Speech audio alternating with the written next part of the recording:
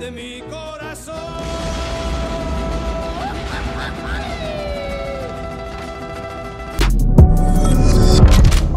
What's up, guys? It's your boy Benny. So we like to put on an entertaining show here, and we like to use language like a lib was literally shaking because somebody said something based on TV. But today, a lib was literally shaking because somebody said something based on TV. Van Jones of CNN says, I was literally shaking listening to Vivek Ramaswamy yesterday. Vivek got the old tin hat treatment. Oh man, they don't know what to do with them. Vivek Ramaswamy pulls out tinfoil hat and an unhinged debate attention grab. What did he do? Well, Vivek committed the crime of literally committing murder on stage, murdering Nikki Haley's career, saying she wants to invade Ukraine. She wants to send American soldiers to die, your sons and daughters to die in Ukraine, and she can't even name the region she wants to liberate. Experience is not the same as foreign policy wisdom. I want everybody at home to note that I was the first person to say we need a reasonable peace deal in Ukraine. Now, a lot of the neocons are quietly coming along to that position, with the exceptions of Nikki Haley and Joe Biden, who still support this, what I believe is pointless war in Ukraine. Oof. And I think those with foreign policy experience, one Oof. thing that Joe Biden and Nikki Haley have in common is that neither of them could even state for you three provinces in eastern Ukraine that they want to send our troops to actually fight for. Look at that. This is what I want people to understand. These people Spicy. have, I mean, she has no idea Spicy. what the hell the names of those provinces are. Look at her wants face. To send our sons and daughters and our troops me, and our military. Wait a second. Look at her face. There's the, there, that's the meme right there. That's the meme. There it is. Look at her face.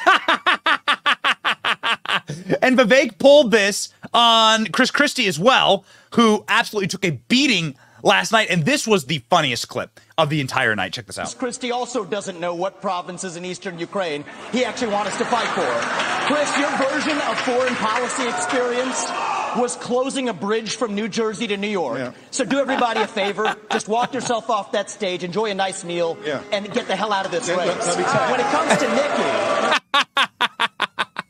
oh my God. The savagery and we were joined in loving this savagery by Terrence Williams, one of our favorites. He's a comedian. He has a great channel. Uh, Terrence Williams saying, I'm filing a lawsuit against Vivek Ramaswamy because I almost died laughing when he roasted Chris Christie. What he just did took me out. I think Trump trained Vivek for this debate. Watch this. Chris Christie also doesn't know what provinces in eastern Ukraine he actually wants us to fight for. Chris, your version of foreign policy experience was closing a bridge from New Jersey to New York. Yeah. So do everybody a favor, just walk yourself off that stage, enjoy a nice meal, yeah. and get the hell out of this yeah, race. When it comes to Nick.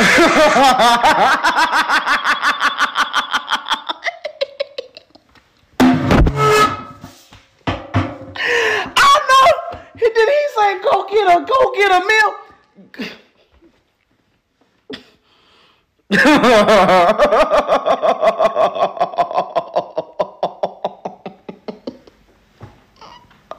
oh, oh, baby, baby. Have, uh, have Trump been training you? Trump must have trained you for this debate, cause that's some that right there was straight up Trump. But Vivek wasn't done yet.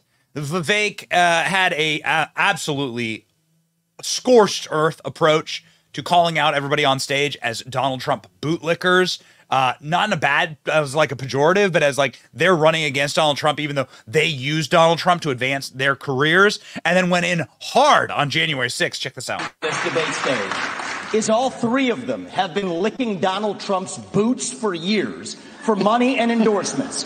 Ron DeSantis, you've been a great governor, but you would have never been one without actually begging Donald Trump for that endorsement. And you attacked him in your Nikki book Haley. a year ago. Same thing with Chris Christie as a lobbyist, begging them for COVID money for his special interests in New Jersey, prepping him for the debates last time around.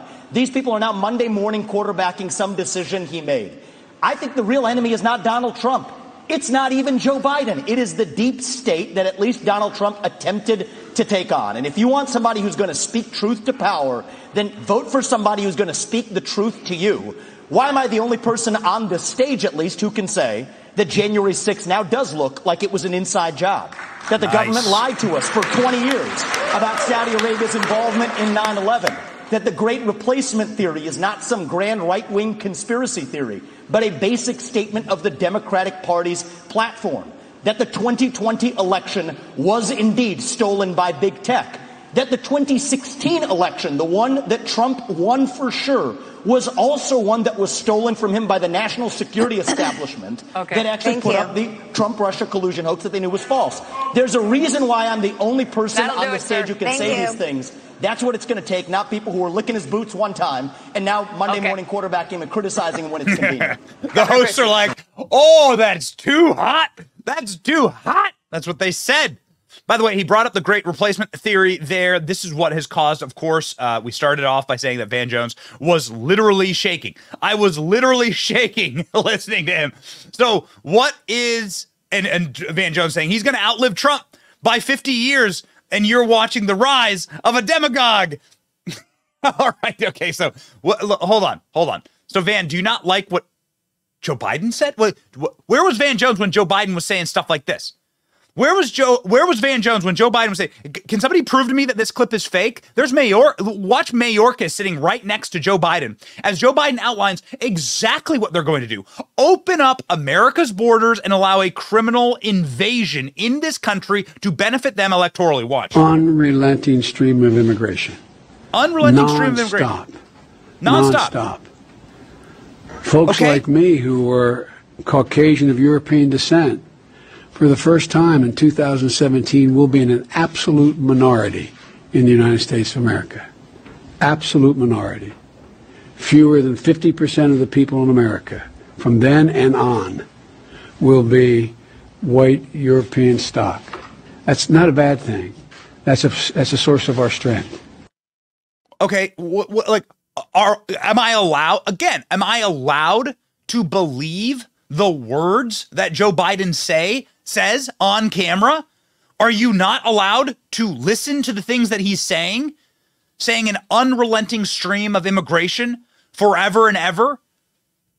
And it's a good thing that white people will be an absolute minority in this country? That's what he said.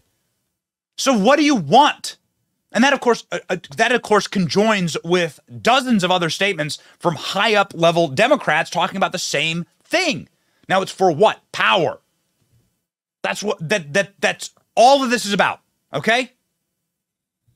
Somebody who is causing uh, Vivek Ramaswamy like th- th- th- this statement and the clips of Joe Biden is causing them to literally shake. Okay, fine. Wouldn't want to live in the crystal little fragile cotton candy world that you live in. Vivek bringing Alex Jones to prep him for the debate was pure genius. I don't think that actually happened. But the results sure speak for themselves. Watch this savagery back to Nikki Haley. Again, ending Nikki Haley's career. game. We're talking about that trans issue. And Nikki Haley's campaign launch video sounded like a woke Dylan Mulvaney Bud Light ad talking about how she would kick in heels. At the first debate, she said that only a woman can get this job done. That's Oh, what she man. said. After the third debate, when I criticized Ronna McDaniel after five failed years of leadership of this party and criticized Nikki for her corrupt foreign dealings as a military contractor, she said that I have a woman problem. Nikki, I don't have a woman problem. You have a corruption problem. And I think that that's what people need to know. Nikki is corrupt. This is a woman who will send your kids to die so she can buy a bigger house. There you go. This is the problem. Using identity politics more effectively than Kamala Harris is a form of intellectual fraud. And it actually needs to end. There's our donor puppet masters wielding their puppet right up here tonight. This is how this game is played. The puppet masters put up their puppet, and I reject the use of identity politics in this party. It has been a cancer coming from the left, and I'm sick and tired of the double standards the people of this country are too. Having two X chromosomes does not immunize you from thank criticism. you. Boom, baby. Boom. Oh my God. Just finished. You just can't continue after that. He just ended her career. Will Vivek Ramaswamy be president someday? I don't know. I don't know. But I can tell you this Nikki Haley doesn't ever have a shot ever again after that. And Nikki Haley doesn't deserve a shot, of course. Nikki Haley is for uh, total and complete internet censorship and government control of internet. Nikki Haley is for every single war, sending our kids to war with Iran. She was a total neocon. And she's an absolute puppet of her puppet masters, the donor class. that clearly, clearly do not like America, you or me. Nikki Haley has had some terrible takes and just recently had just awful takes about parental freedom in education. Nikki Haley was on the side of Disney in the Disney battles with Florida. It, it's hard to actually find somebody in the Republican Party that more acts like a Democrat, uh, but in name only is a Republican. There's a name for that called a rhino. And the rhinos got booed on stage last night. Chris Christie getting a large round of boos. Be able to do because he will be convicted of felonies before then, and his right to vote will be taken away. You know, you look. Here's the bottom line. You can boo about it all you like and continue to deny reality. But if we deny reality as a party, we're going to have four more years of Joe Biden. Boo. Chris Christie says Vivek is an obnoxious blowhard. Ramaswamy tells him to enjoy a nice meal. oh man. Oh man, I'm all for it. I'm in. I'm, I'm in. I think it's great. I just think it's great. Way to go. The future of the party is bright. Like we got good energy, positive energy. Um, Chris Christie didn't just take it on the chin from uh, uh, gut punches from Ramaswamy. He also took one from Ron DeSantis. We'll close out. Ron DeSantis had a very good debate, very solid debate. Uh, check out this, uh, probably his finest moment. Uh, cruise missile straight to Christie. Watch.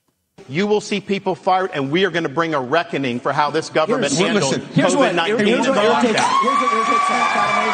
Now, Chris, you had your chance to wax Yeah, eloquent on Donald Yeah. Trump. You've been Why- doing it all Ron, this whole Why race. doesn't he just answer the question? The question was very direct. Is he fit to be president or isn't he?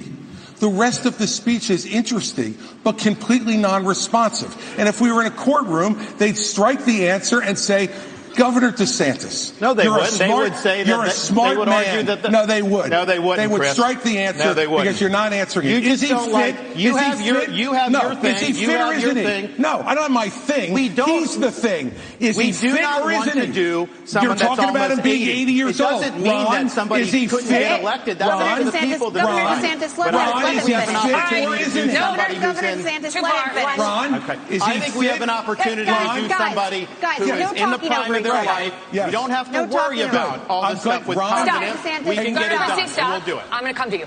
Ladies and gentlemen, uh, it showed energy, verb, spark, fight, and it was very, very interesting. Uh, we were uh, pleasantly surprised at the entertainment value of last night's debate. Uh, what did you think? Let us know. Are you literally shaking? Stay based. It's your boy Benny. See ya.